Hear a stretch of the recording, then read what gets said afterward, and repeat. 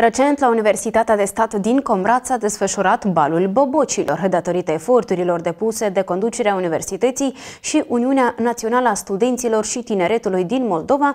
Pentru studenți a fost organizată o adevărată sărbătoare. Studenții din anul 2 și 3, cadrele didactice, invitați special din Turcia și artiști de la Chișinău au organizat o serată pe cinste studenților din anul 1 de la Universitatea de Stat din Comrat.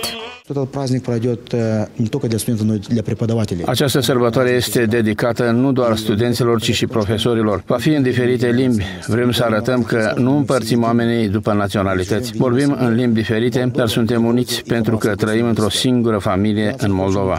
La balul bobocilor a fost prezent și președintele Uniunii Naționale a Studenților și Tineretului Eugen Balan.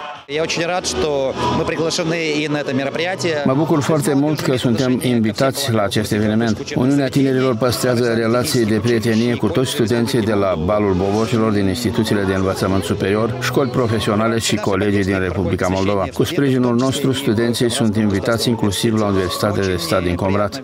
Potrivit rectorului Universității de Stat din Comrat, Sergei Zaharia, numărul studenților din anul întâi a marcat un număr record. Instituția a înregistrat cu 150 de studenți mai mult decât anul precedent. Мне нравится состав педагогов. Îmi place componența cadrelor didactice. Îmi place atitudinea care e aici față de noi, față de studenți. Îmi place că pot învăța despre alte culturi din diferite țări. Avem săptămâni internaționale în care învățăm despre diferite culturi. Где мы можем узнавать о разных культурах. В этом университете есть очень много возможностей. Avem o mulțime de oportunități la această universitate. Putem pleca în străinătate. Aici se predă la un nivel înalt. Important dorință de a învăța să fie. La Universitatea din Comrat sunt înscriși peste 1600 de studenți, iar conducerea instituției este convinsă că numărul acestora va continua să crească în viitor.